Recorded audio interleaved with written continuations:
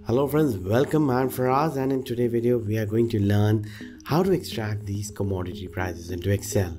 So let's say that we want to extract this crude oil price into Excel. We can do it really with an easy trick.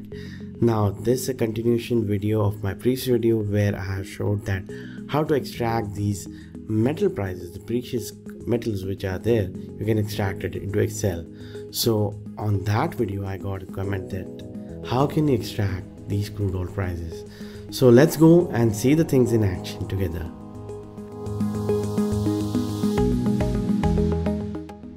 So when somebody entered this crude oil price, he was not able to extract it in the stock which is there for the Excel. So let me say that you have this crude oil price and I just select the stock over here and unfortunately I don't know why it is not able to get that data or not able to even show it in the data selector. So the solution was to identify the ticker symbol. Now I have listed out all the ticker symbol over here for all these commodities. And in fact, if you wanted to know that how to identify them, I'll be dropping the link of this MSN commodities over here in my video description so you can go and get it from there. So let's say we are going to extract the crude oil price. Now once you click on the crude oil you can see that this is a ticker symbol which is at the rate CL0Y now I have entered that same over here but there is a trick that you can't enter it straight away like this at the rate. You must add a space to it otherwise it will bump you an error. So that function is invalid you know. So just make sure that you add a space and you enter it.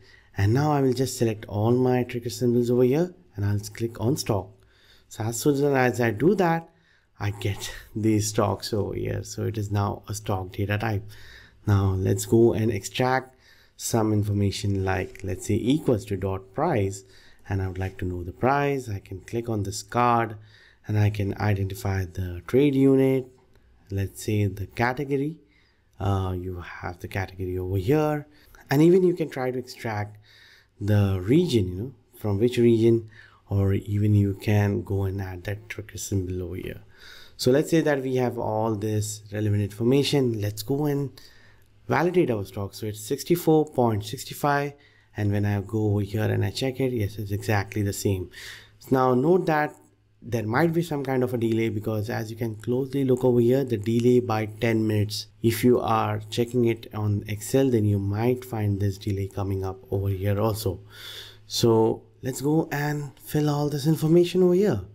Let's go over here control g let me go to special and let's go and remove the errors.